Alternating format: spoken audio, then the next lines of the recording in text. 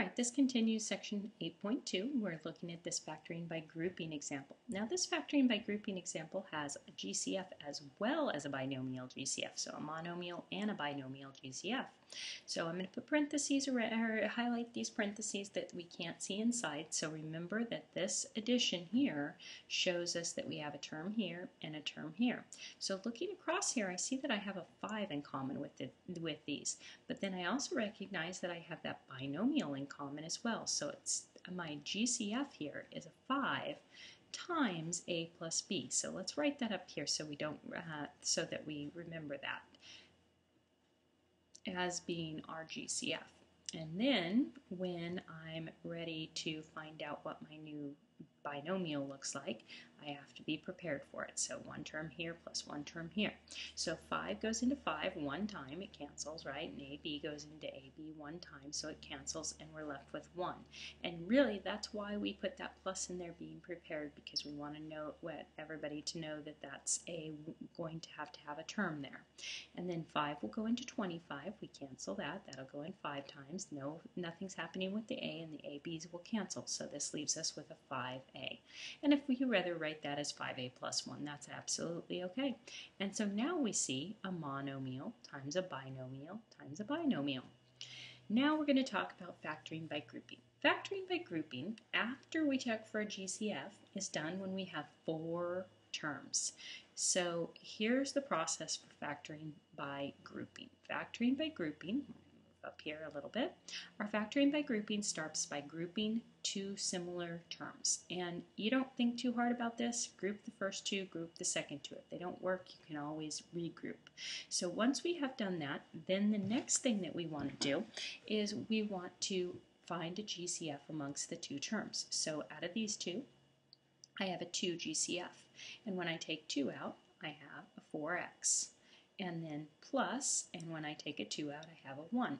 Now from these two, I'm going to get a GCF from those as well. Now, in the back of our minds, always just in the back of our minds, one of the things that we want to think about is what um, GCF we might have in common and uh, or what uh, binomial this binomial looks like so that when we factor out our GCF that our binomials will look the same. Now this is just something that happens in the very back of your mind and it usually involves signs so I'm not going to think too hard about it especially in this particular one. So here and here I have a 3 in common and then I also see I have a y squared in common so y squared. And then I'm going to prepare myself for the binomial and so 3y squared comes out of 3y squared and leaves me with a 1. 3y squared comes out of here and leaves me with a 4x. Now remember, 4x plus 1 or 1 plus 4x, those are exactly the same terms. So now I'm going to see that I have 1, two terms here, and I'm going to factor out that GCF, which this time is a binomial GCF just like we were doing in the last two problems. We're factoring a binomial GCF. In fact, that's why we practiced that. And now I have out of the first term a 2 plus out of the second term a 3y squared. And it's okay to write that as 4x plus 1 times 3y squared plus 2 as well, or you can just leave it like that. It really doesn't matter. And there we go. And you see when we factor by grouping, what we end up with is a binomial times a binomial. Now let's look at another example. So in this one, we're going to group the first two, group the second two. And so out of the first two, I'm going to take a 2z.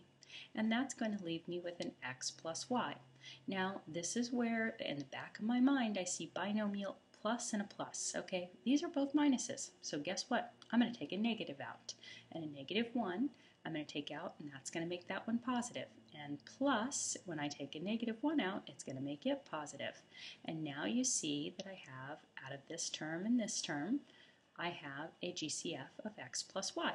So I'll take the x plus y out, and then that's going to leave me with a binomial. So I prepare, I've got a minus in between, here a 2z, and then here a 1. And there we go that's our factoring.